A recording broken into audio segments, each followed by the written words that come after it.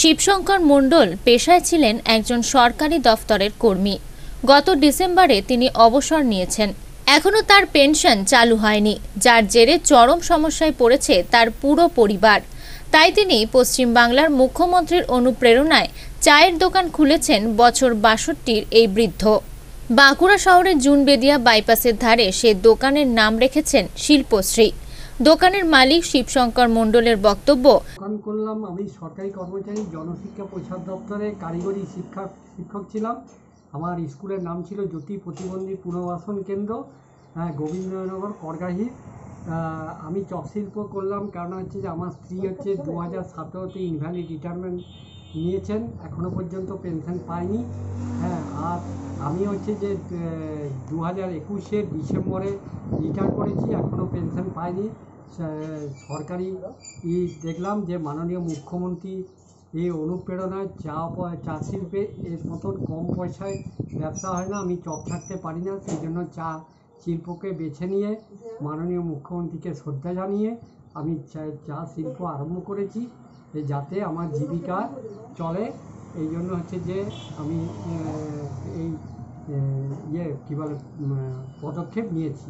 জানিয়েছি এসডিওকেও চিঠি করেছিলাম ডিএমইওকে চিঠি করেছিলাম মাননীয় টিআইসি অরূপ চক্রবর্তীকেও চিঠি করেছিলাম অরূপ গোস্বামীকে চিঠি করেছিলাম।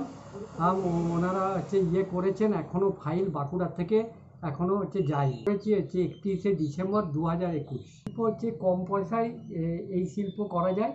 হ্যাঁ এই চা শিল্প করার ফলে হচ্ছে যে আমার স্ত্রী হচ্ছে পাঁচ হাজার টাকার ওষুধ লাগে। আমার দিদি হচ্ছে যে অবিবাহিত আমার কাছেই থাকেন। আর আমার ছেলে হচ্ছে যে টেনে পড়ে, মাধ্যমিক পরীক্ষা দেবে মেয়ে হচ্ছে যে ইলেভেনে পড়ে।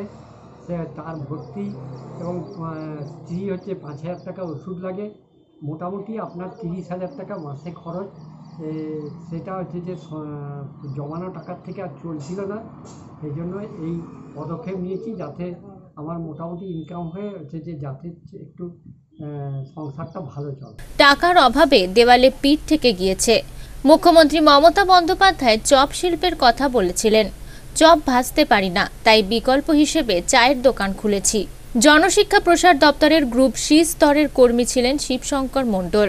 বাঁকুড়ায় সেই দফতরের অধীনেই থাকা বিশেষ চাহিদা সম্পন্নদের একটি স্কুলে হাতের কাজ শেখাতেন তিনি। দীর্ঘকাল যাবৎ তিনি এই কাজে ব্রতী হয়েছেন। শিবশঙ্কর বাবুর স্ত্রী সুস্মিতা দেবীও জনশিক্ষা প্রসার দফতরের চতুর্থ শ্রেণির কর্মী ছিলেন। কুড়ি বছরের বেশি কাজ করার পরে দুহাজার সতেরো সালে অসুস্থতার কারণে অবসর নেন তিনি। শিবশঙ্কর বাবুর দাবি, নিয়ম মাফিক, স্ত্রীর গ্র্যাচুইটি পেনশন সহ বিভিন্ন সুবিধা পাওয়ার কথা। কিন্তু পাঁচ বছরেও সেসব পাওনা মেলেনি। তার অভিযোগ, আমার পেনশন চালু হয়নি এখনও প্রশাসনিক দফতরে আমার এবং স্ত্রীর প্রাপ্য চেয়ে বারবার ছুটে ক্লান্ত হয়ে পড়েছি। তাই তিনি রাজ্যের মুখ্যমন্ত্রীর অনুপ্রেরণায় বাঁকুড়া শহরে শিল্পশ্রীর নাম দিয়ে খুলে ফেলেছেন চায়ের দোকান। বাঁকুড়া থেকে সৈয়দ মফিজুল হোদার রিপোর্ট আনন্দবার্তা।